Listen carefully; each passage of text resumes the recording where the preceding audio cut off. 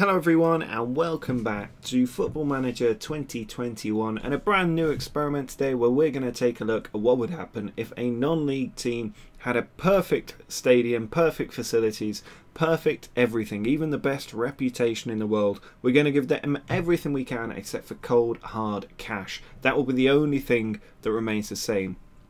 So if you watched the what happens if we give a non-league team 1 billion pounds experiment then you would know that the money itself is not enough. A team needs to be more sustainable than that. It needs to be able to grow and develop. Uh, and also most importantly it needs to fit in with financial fair play.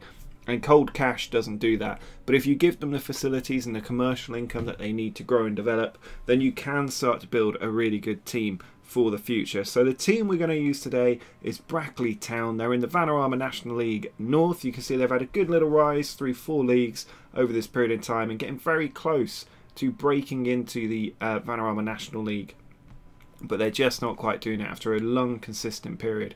So we're going to help them break through that ceiling and get up into league football and hopefully up into the Premier League and maybe even potentially make them uh, Premier League title challengers, but that's a long, long way in the future. Now, if you are new to the channel, please do subscribe uh, down below. It really helps the channel grow uh, and develop. And also drop a like if you're enjoying this experiment. I might do another part uh, after this one just to sort of see how they get on into the future. Because today we're going to go forward probably about five, six years. I imagine they're going to fly up the league table pretty quickly, uh, fly up the pyramid pretty quickly as well. So do drop a like down below if you'd like to see a second part.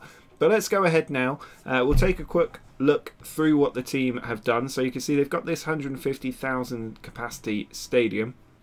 Their reputation is also up really high. If I edit the club details here, you can see max reputation, but I've not only given them the stadium, I've given them 150,000 fans as well. So they're all going to turn up week after week and hopefully boost the £40,000 that they've got in the bank. Uh, now, interestingly, Brackley actually come with an underwriter sugar daddy before you even get into the club. That's one of the reasons they've been so successful uh, in their recent history. But you can see the stadium here is massive. Uh, stadium condition of zero is the best it can get. The lower the number, uh, the better the condition. Uh, so zero should hopefully leave them with a good uh, stadium for a long time to come. I've given them the roof, the undersoil heating. They've also got the perfect facilities. Most importantly, they've got perfect corporate facilities, so their income is going to absolutely fly. Um, and hopefully they can just run up the, the table pretty quickly. Nothing else about the club has changed. So they've only got 40 grand in the bank. They've got the same players in the bank, none of them worth more than 20k. Um, and it's going to be interesting to see how they develop. That reputation is going to have a really big impact because it means they could, in theory, sign Neymar you know, in theory, Neymar would be interested in joining this team. I don't think that would happen, but, you know, it's a possibility. So let's go ahead now, one year in time, and just see how their finances are looking and how their league uh, season has finished. Well, we have gone one year ahead, and you can see here that their league season, I mean, it's going to take a little while for the facilities and everything else to run in, but you can see uh, at home here, 143,000 fans turning up to watch them beat Chester 3 1. Uh, no run in the cup competitions, but they did make the playoffs. They won in the first round 2 1 in front of 143,000 fans. But away from home, they were beaten by Chester on penalties. A real blow to go out like that, which means that they haven't managed to make it to the next level. You can see though their money is going out. It took years for the club that I gave a billion pounds to spend anything near 165 or 300k. This team can do it really, really quickly. And if we look at their senior squad, the value has already gone up. I just want to have a look at the wages that these players are being paid 10 grand a week. Um, huge wages being offered to some of these players. Stewart Downing, 37 years old now at the club, having joined from Blackburn on a free transfer, dropping from the Championship down into uh, Brackley in the Vanarama National League North. Now I'm just going to uh, make myself the manager of Brackley because I want to see what their finances look like and you can only uh, look at the income and everything else by actually making yourself the manager of the team. So let's go for Brackley, make ourselves a manager, just skip through all this. And if we go to their finances screen, so you can see here, look, they started with 40k, actually went down to begin with because they weren't playing matches, but then absolutely explodes up. And you can see they've got now 36 million pounds in the bank. If we have a look at that income and where it's all coming from Uh, starting with last season, they got 46 million in gate receipts last year, uh, 16 million in match day income, 30 million in merchandising. The corporate facilities alone worth 8 million pounds. Uh, nothing else coming through. A bit of money in grants, a bit of money in interest from the money they've got in the bank. Only 76 grand in TV revenue, but that stadium and facilities basically giving them uh, 18 million pounds through the year. And if we look at their expenditure as well, last season 16 million to maintain the ground, so they need those fans coming through because of that cost. 14 million in tax, uh, and lots of other match day expenses as well 10 million on match day expenses but they've got money going into all their facilities as well uh, player wages down there at just half a million nowhere near anything else but they're clearly turning an enormous profit uh, and that obviously means that their financial fair play is going to be uh, brilliant as well. No issues around that. Transfer budget 24 million, wage budget 176,000. They can genuinely afford to fill those out. So huge benefits really. They're making an enormous amount of money every month, which means that they are going to be okay. You can see here the projections going up to 80 million. Um, they're going to have a lot of money. Their turnover maybe going down a little bit uh, but their profit is always going to be in the millions. Uh, so the team in a really good place. I think because of how slow this can sometimes take to go forward, we know how much they've got coming in now. Let's go forward two years and see if they've managed to get uh, much further up the football pyramid. So in their second season with these facilities, you can see their league campaign going absolutely brilliantly. Knocked out of the FA Cup in the first round, not going far in the FA Trophy, but they managed to get through in the Vanarama National League North. Um, I mean, they actually? They lose one game there. Uh, two games all season lost, so they won the title that year and got up into the Vanarama National League, where you can see uh, into the FA Cup third round, where they took on Stockport but got knocked out in a replay. Oh no, they beat Crewe in the FA Cup third round, then beat Huddersfield 2 1 as well in the FA Cup.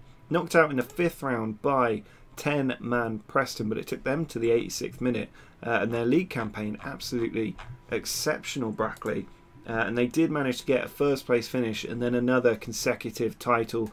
Uh, they've spent a good amount of money, I imagine. If we look at the transfer window here, you can see previous season £4.4 million being spent. Tyler Blackett coming in from West Brom, uh, and £8 million a year before that. Uh, Tyler Blackett, Jarell Quansah, uh, Harry Chapman coming in. They're spending a good amount of money. Tyler Blackett here, worth a decent amount. Uh, that's a big transfer to bring him in not actually doing that well for them, which is funny. Um, but they are spending an enormous amount of money on players. If we look at that senior squad, sort them by value, you can see they've got a couple of players coming through here worth 10 million. So this this guy here, coming out of that academy, now worth an absolute fortune. Look at that average rating he's getting down there. Um, they've also got Neil Wickham here on a youth contract, 18 year old right back, uh, because they've got those excellent youth facilities and excellent youth recruitment. So they've got great players coming through the team already worth £10 million. Uh, lots of players on the transfer list um, for a lot of money because they're, they're obviously buying dud players. But if we look at the wages being paid, 70 grand a week for Tyler Blackett, this always happens. They sign absolutely rubbish players for enormous wages and then they can't sell them because the money being paid. Dan Gosling in there on 30 grand a week in non league football. Uh, Leigh Griffiths is in there as well. They bought him on a free. He played four games, scored twice, uh, and now they don't want him anymore. So uh, they're doing an awful lot in terms of bringing people in, but they are also firing up the league system at this point. If we look at the club details, you can see the reputation has dropped a bit. The attendance is holding up pretty nicely, uh, but they've got an enormous amount in the bank. That's 92 million in the bank, a huge transfer budget as well. The stadium, all right, the training facilities have dropped a little bit, uh, but they're in a great place to really go on uh, and do really well in the various competitions. So let's go forward another couple of years and see if they've managed to make it up into the championship. So their season in League Two actually got off to a pretty rough start. They didn't win a League Two game until about their seventh match against Bradford City. But then they started to turn it around. A little bit of a rough patch here, uh, but they did manage to win a lot of games in the second half of the season. Probably brought some players in, uh, and by the end of it, had managed to sneak up into League One. And in League One, again, doing pretty well in the various cup competitions, getting through in the FA Cup again before being knocked out by Walsall. Uh, not making it very far in the Papa John's Trophy, but they made it into the playoffs, managed to win against Rotherham, uh, managed to draw against Rotherham in the first leg, but beaten in the second leg at home in front of 145,000 fans, so not able to make it out of League One at the first time of asking. Their transfer business pretty diminished now. Uh, not able to spend the millions they were before because they're they're probably already lean too much on their financial fair play. But they have been able to bring people in on free transfers. Tyler Blackett's still there.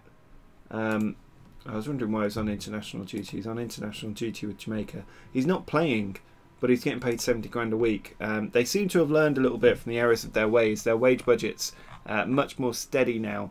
Uh, when you get into League Two and League One, I think they have a, a wage cap. Uh, so they're just waiting for Tyler Blackett to finally get off the, the wage bill, which will be next year, and then they can start to really reinforce their team with proper players coming in. Uh, but if we have a look at their history of managers, you can see Kevin Wilkin here made it 10 years. Uh, a couple of league titles in there, the Vanarama, National League, won a cup competition with the FA Trophy as well. Um, but then was sacked, and the new manager Simon Grayson's come in 208 days under his belt. I wonder how long he'll be at the club. Uh, it probably depends on whether you're getting these nice little green dots keep appearing, uh, Simon. That might well keep you in a job.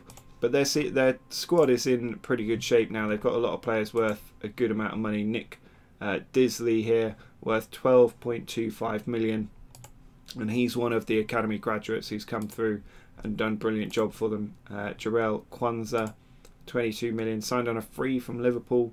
Uh, and doing really well for them. So they've got a lot of uh, good young players coming through now, which will help them because that wage cap can be a bit of an impact.